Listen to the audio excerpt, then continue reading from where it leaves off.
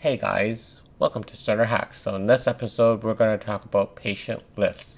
We can customize ones that can show you different things like uh, your daily census, ones that are for interesting cases, one for, let's say, patients that were recently discharged, obviously we want lists for our census uh, for the group that we're working in that will be automatically pulled into our group and we can make lists that are uh, based on wards or even an entire hospital census list so we're going to go through all of those so stay tuned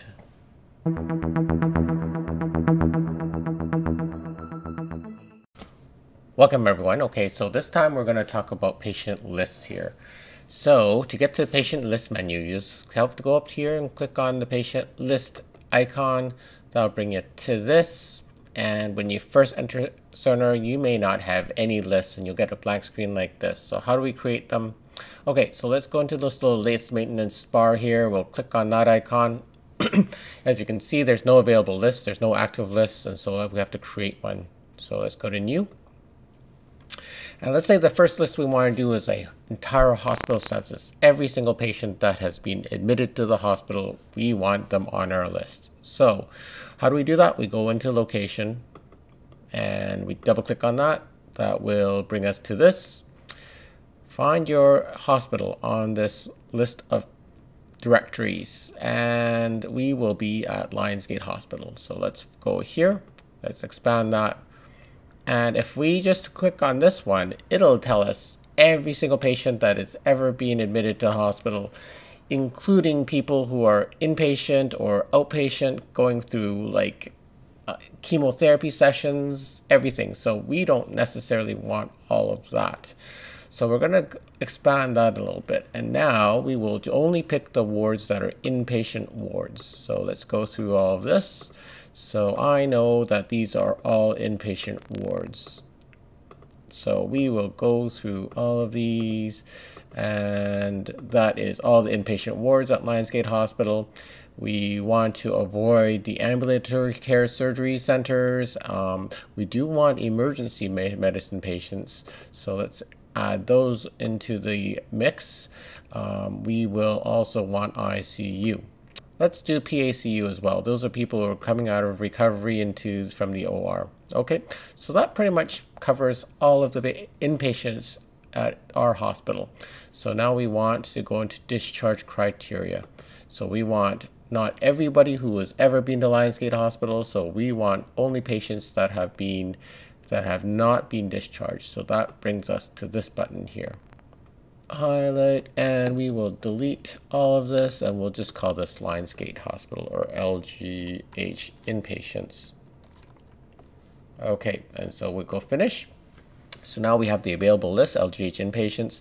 We're going to highlight and move that into the active list and go OK. Okay, the next list we're going to talk about is the complete custom list. And I use this all the time for billing purposes. You can also use these lists for, let's say, teaching cases or interesting cases or maybe interesting deaths or for M&Ms. Um, these are all custom lists that you can you have full control over. You manually add patients. They will not fall the off the list unless if you manually take them off. And so that's a really uh, useful list and you can make them for anything you'd like. So how do we make these? Let's go to new and we're going to make a custom list. Okay. And this is probably one of the easiest uh, lists to make. All we have to do is assign the location. So we're going to assign to Lionsgate, LGH Lionsgate Hospital. We'll expand that and we want everybody inside the hospital regardless.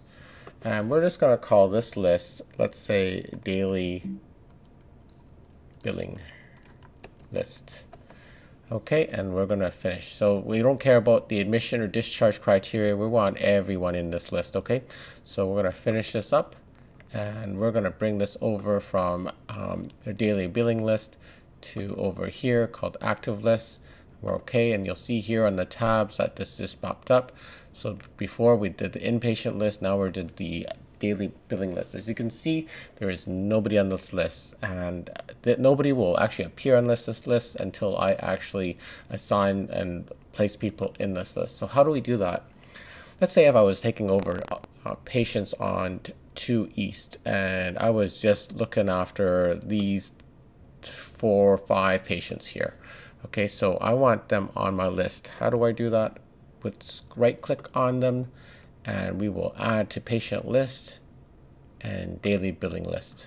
There we go. We selected it. And now when we refresh, there they are. So that's awesome. So that's how we get them into their daily billing list and that will help you immensely. And when you're done with patients and you're wanting them to be removed, let's say they're discharged and you don't want them on your list anymore, you can right click on them and you can remove the patient from your list and there they're gone. Okay, so hopefully that'll help as well. Okay, so the next list we're going to do is a particular list for your service. So let's say if you're a hospitalist like I am, um, let's figure out how we can uh, make a list. So we're going to list maintenance. Um, we're going to go to new. Uh, we're going to find a provider group and through this provider group, we're going to look for Lionsgate Hospital hospitalists. Okay.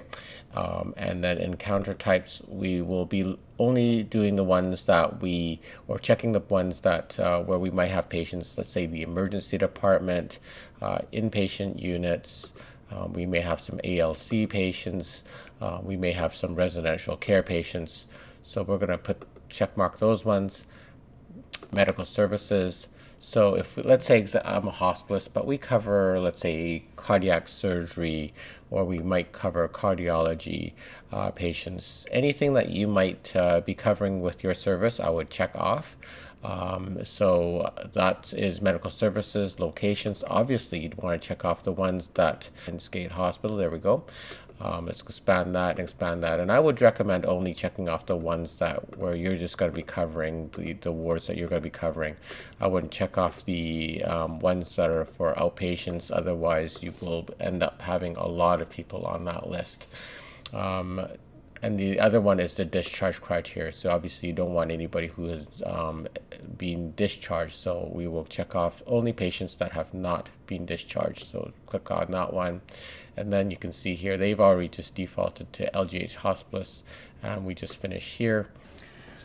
Okay, the last list that we're going to do is a discharge list that may or may not be helpful to you. These are patients that have just been discharged from the hospital um, and they automatically fall off your list uh, if you belong to a group. However, sometimes you want to recover those patients for, for example, for follow-up.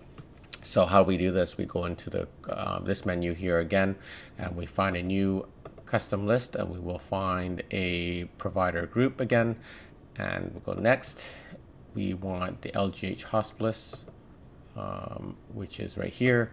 Um, and we want time criteria or discharge criteria.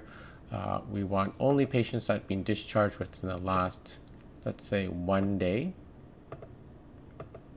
Okay. Um, and we would go through the locations again. Um, so at Lionsgate Hospital. So let's expand that and expand that. And you can go through and pick through the uh, words that you want um, that list to come from um, and counter types. Again we would want uh, only the emergency patients inpatients uh, and so forth. And then the medical service that you would normally cross cover. Discharge. One day. Okay and then we finish that and we can move that over here. All right, so now we have a list of all the patients that have been discharged in one day. When you refresh that, if there are people there, they will just show up. Okay guys, one last thing we're going to do is the modification of your daily billing list. So if you want to remove somebody from the list, just right click and remove patient from list. With time, these billing lists and other lists will be very useful for your day-to-day -day practice. So that's it for now.